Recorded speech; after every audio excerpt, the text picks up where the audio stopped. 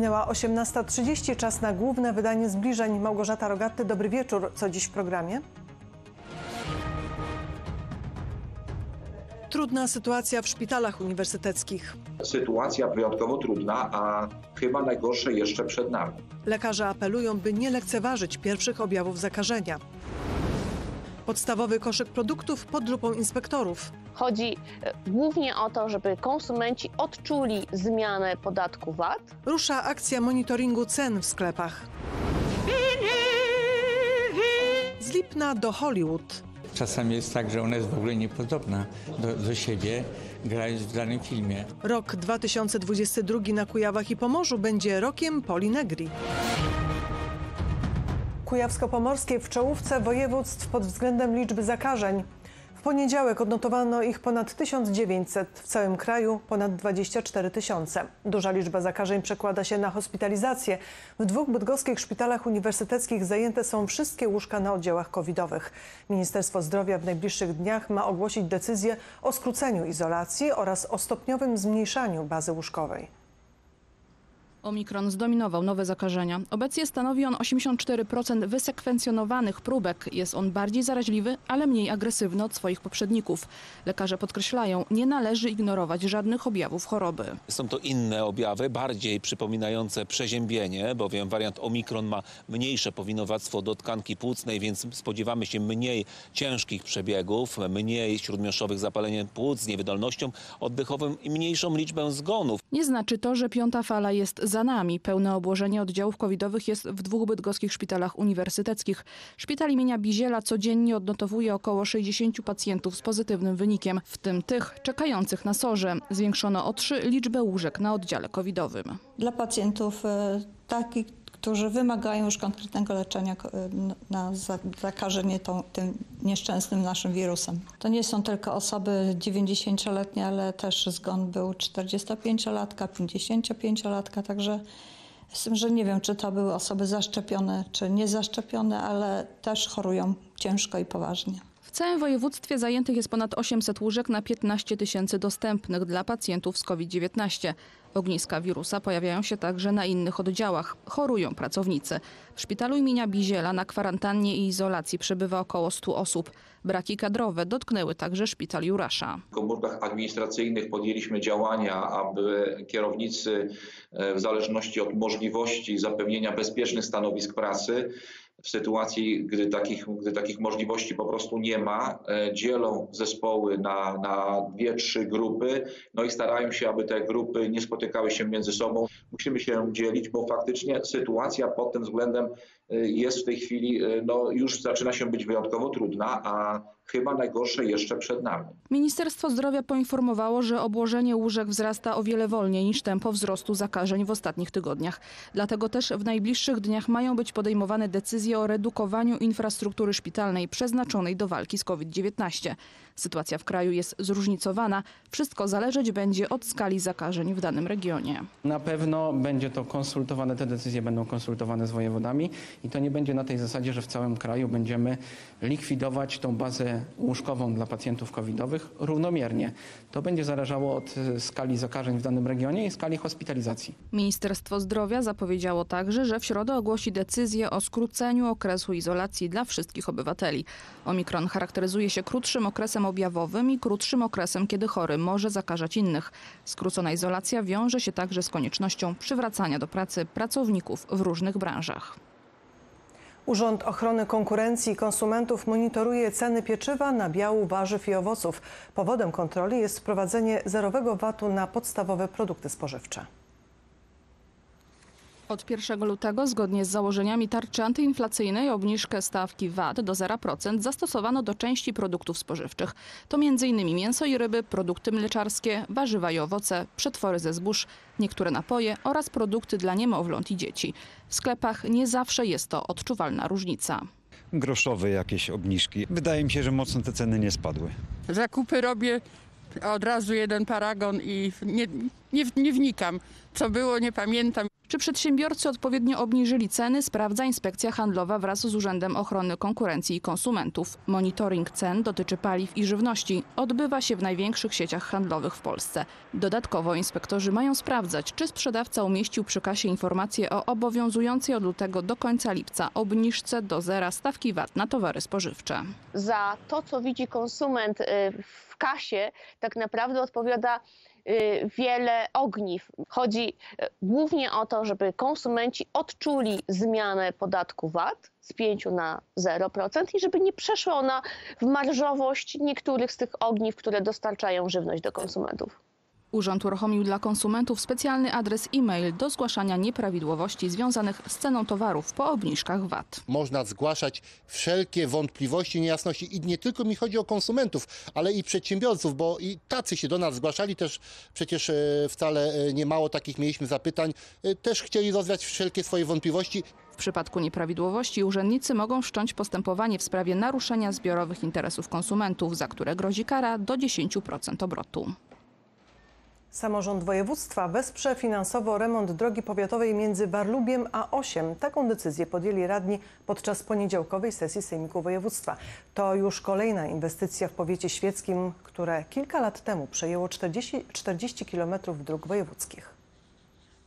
To zdjęcia drogi powiatowej między Warlubiem a Osiem w powiecie świeckim. Każdego dnia przejeżdża tędy kilka tysięcy aut. Droga ważna, choć jej stan pozostawia wiele do życzenia. Ona on, łączy Osie z Warlubiem, potem dalej do, do autostrady. Jest to ważna droga w sieci dróg powiatowych. Już wkrótce trasa zostanie całkowicie wyremontowana. Taką decyzję podjęli radni podczas sesji Sejmiku Województwa. O ile widzimy, podróżujemy drogami krajowymi, stan jest bardzo przyzwoity. O tyle wiele do życzenia mają drogi powiatowe i myślę, że to jest też również rolą samorządu województwa kujawsko-pomorskiego, żeby te wskazane ważne i nieodzowne dla mieszkańców inwestycje, jak również e, komunikacyjne, w tym przypadku drogi, e, stale modernizować. To już kolejna była droga wojewódzka, która zyska nowe życie w powiecie świeckim. To efekt porozumienia między samorządem województwa a starostwem, które w 2017 roku przejęło 40 km takich dróg. Od tamtej pory są one systematycznie remontowane. Tamta uchwała zobowiązywała samorząd województwa kujawsko-pomorskiego do tego, że po przejęciu tych dróg samorząd otrzyma dofinansowanie za, na remont tych dróg w wysokości 500 ki- tysięcy złotych do kilometra. Proszę zwrócić uwagę, 40 kilometrów po 500 tysięcy daje łączną kwotę 20 milionów złotych. Ta nasza współpraca właśnie szczególnie z powiatem świeckim, jeżeli chodzi o opiekowanie się drogami wojewódzkimi, a teraz powiatowymi. Koszt wsparcia finansowego samorządu województwa to 3 miliony 600 tysięcy złotych. Michał Górski, TVP3 Bydgoszcz. Czy kodeks Korwina, XV-wieczny manuskrypt ze zbiorów toruńskiej książnicy kopernikańskiej zostanie przekazany Węgrom? Projekt ustawy w tej sprawie kilka dni temu trafił do Sejmu. W Toruniu sprawa wywołała dyskusje i protesty, bo zdaniem naukowców to bezcenny zabytek. XV-wieczny manuskrypt do książnicy kopernikańskiej w Toruniu trafił u schyłku XVI stulecia. Zdaniem historyków to zabytek najwyższej rangi.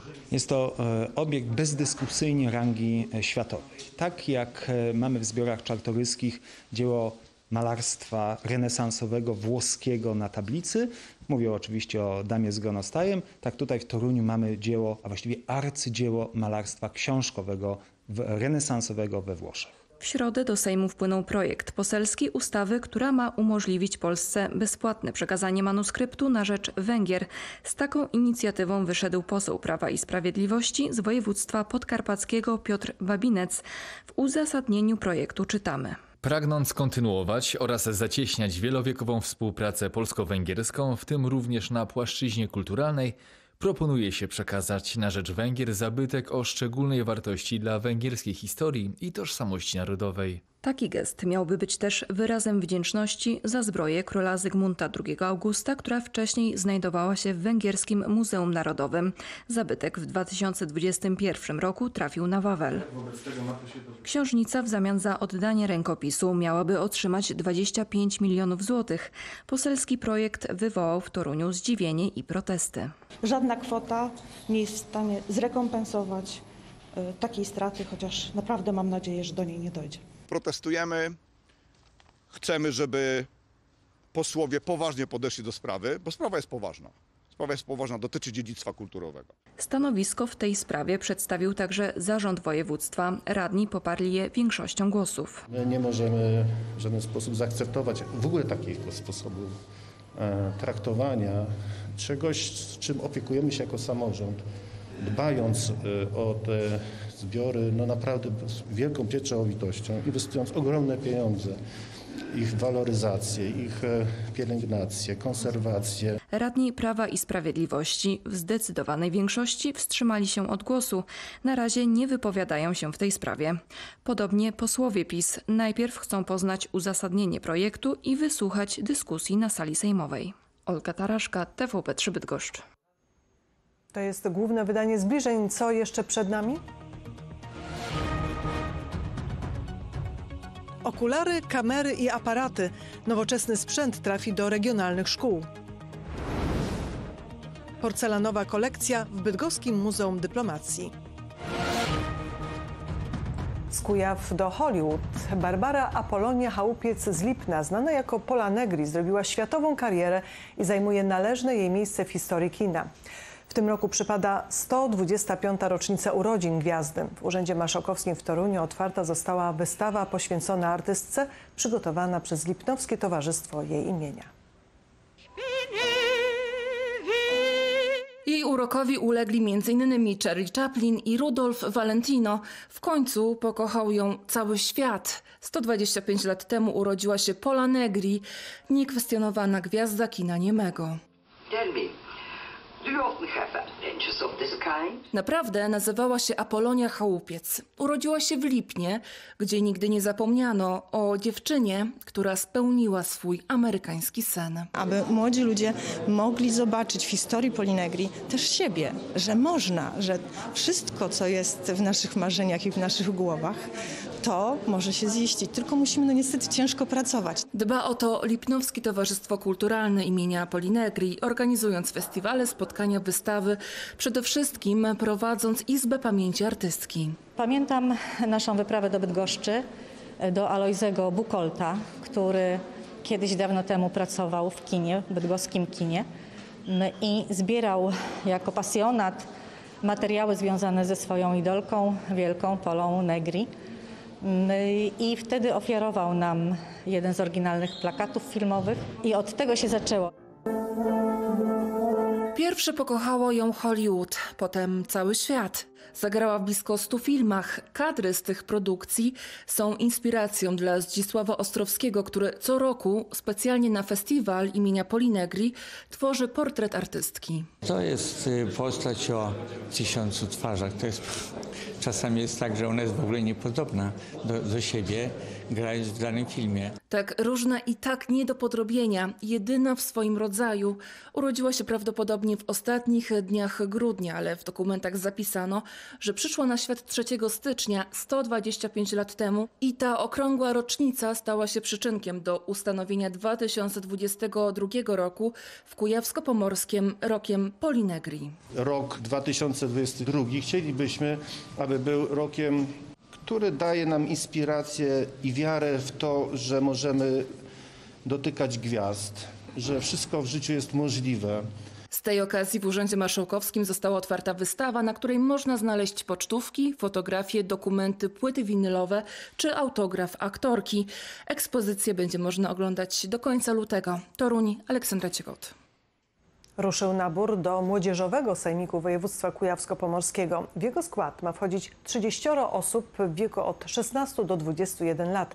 Urząd Marszałkowski zachęca do przesyłania zgłoszeń. Takie inicjatywy pokazują młodzieży, jak mają działać w samorządzie i jak działa samorząd. Dzięki temu młodzież może się uczyć, e, jak po prostu funkcjonować w społeczeństwie demokratycznym.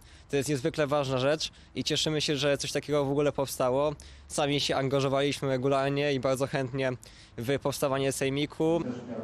Chciałabym, żeby Młodzieżowy Sejmik był e, platformą e, dla młodych ludzi taką, w której będą mogli realizować e, swoje pomysły a, i mieć realny wpływ na to, co się dzieje w naszym województwie. Przede wszystkim chciałabym zaprosić ich do prac w niektórych komisjach. Przy rekrutacji będziemy brali pod uwagę to, czy każdy powiat naszego województwa jest reprezentowany.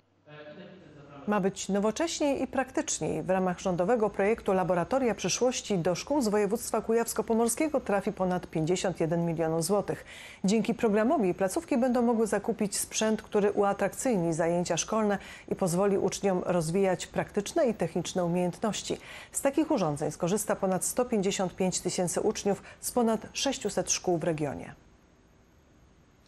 To przykład, jak połączyć przyjemne z pożytecznym. Dzięki wirtualnym okularom uczniowie szkoły podstawowej imienia Marii Konopnickiej w Nowej Wsi Wielkiej będą mogli przenieść się do cyfrowej rzeczywistości podczas szkolnych zajęć. To jest sprzęt, który wyposażony e, jest nie tylko w same okulary, ale również w oprogramowanie. E, I dzięki e, tym okularom uczniowie będą mogli poznawać rzeczywistość wirtualną, która jest imitowana, ale która w taki bardzo naturalistyczny i realny sposób pokazuje uczniom tą rzeczywistość. A wszystko dzięki rządowemu wsparciu. W ramach projektu Laboratoria Przyszłości szkoła otrzymała ponad 139 tysięcy złotych dofinansowania. Pieniądze wykorzystane zostaną również na zakup sprzętu do nagrywania i nagłośnienia.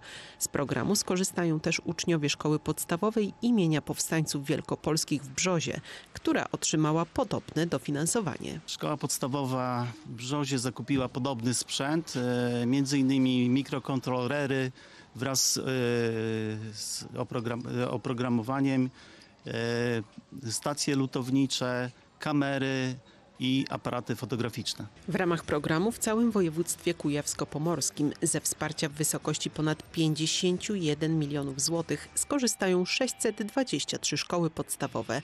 Dzięki niemu uczniowie będą mogli rozwijać swoje umiejętności zarówno praktyczne, jak i techniczne. Przede wszystkim chodzi o to, aby w sposób empiryczny e, wzbudzić w uczniach zainteresowanie e, dziedzinami, na których szczególnie powinno nam w naszej ojczyźnie zależeć. E, Chodzi o dziedziny w ramach takiego projektu STEAM, czyli chodzi o matematykę, o inżynierię, o technologię, o sztukę. Kolejnym etapem projektu ma być wdrożenie programu do szkół ponadpodstawowych. Był jednym z najwybitniejszych polskich artystów drugiej połowy XX wieku. Od 1963 roku mieszkał i tworzył za granicą, głównie we Francji. Roman Cieślewicz, ceniony autor plakatów, zapraszany do współpracy przez tak szacowne instytucje jak chociażby Centrum Pompidou w Paryżu. Wystawę prac tego twórcy zatytułowaną Pełnia koła oglądać można do końca lutego w Galerii Sztuki Wozownia w Toruniu. Pełnia koła. Tytuł wystawy uwypukla jeden z najważniejszych motywów w sztuce Romana Cieślewicza. Mówił, że na punkcie koła ma po prostu obsesję. A wszystko zaczęło się w dzieciństwie spędzonym w Lwowie, mieście, w którym przyszedł na świat w 1930 roku. Gdyby nie pewna piekarnia, może jako artysta wybrałby inny motyw.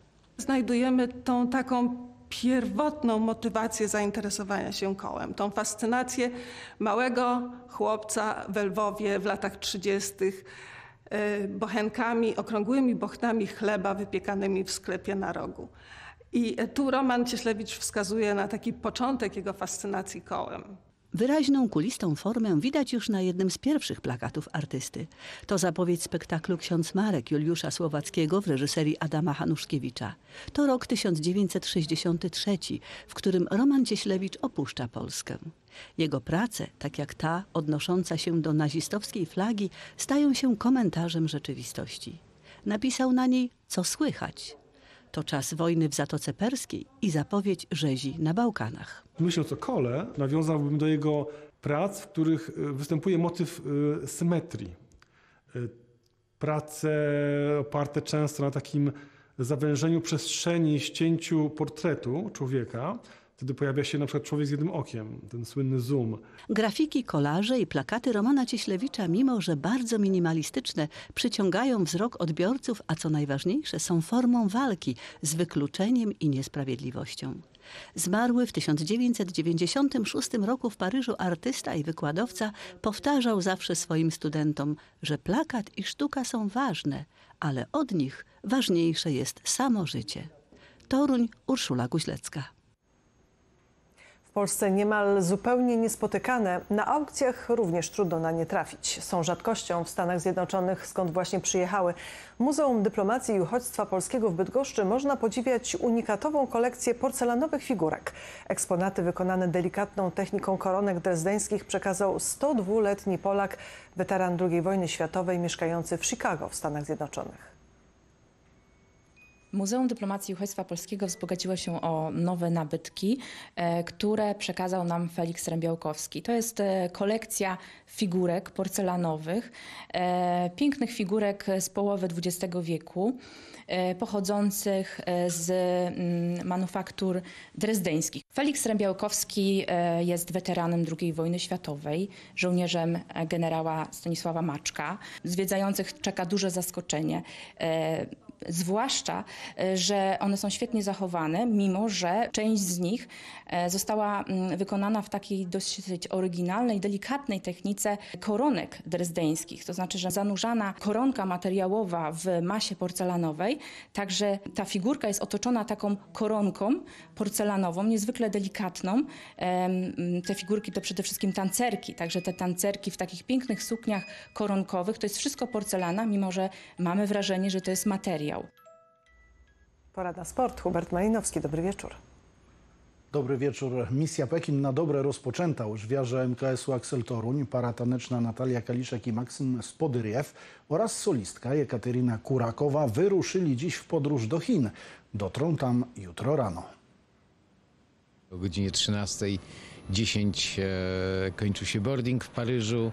O 6 rano już wylecieli z, z Warszawy do Paryża, więc no ta, ta podróż trochę będzie trwała. E, Jutro rano będą e, w Pekinie, a kiedy dotrą do wioski, no to jeszcze chyba trochę potrwa, ponieważ te procedury na lotnisku w Pekinie no, są dość długie. Oczywiście trzymamy kciuki, a więcej na ten temat w naszym wieczornym serwisie sportowym, który startuje niezmiennie o 21.40. Do zobaczenia. A jakie niespodzianki w pogodzie? Magdalena Żakowska. Dobry wieczór. W najbliższych godzinach poczujemy powiew wiosny i to w pełnym tego słowa znaczeniu, bo już w nocy znów zaczną dokuczać nam silne porywy zachodniego wiatru. Te mogą osiągać prędkość w nocy od 40 do 60 km na godzinę i niestety również jutro silny zachodni wiatr będzie bardzo dokuczliwy. Będzie też coraz cieplej. Wprawdzie jeszcze w nocy i nad ranem temperatura spadać może do zera, nawet poniżej tej wartości, ale już jutro termometry pokażą około 3 lub 4 stopni. W środowe popołudnie będzie do 8 stopni, jeszcze cieplej zapowiada się czwartek. I gdyby słońca było więcej, a jest na to szansa, to będziemy mieli piękną zapowiedź wiosny w kolejnych dniach. Szczegóły prognozy już za chwilę. Zapraszam. I tym optymistycznym akcentem kończymy kolejne wieczorne wydanie zbliżeń o 21.30. Do zobaczenia.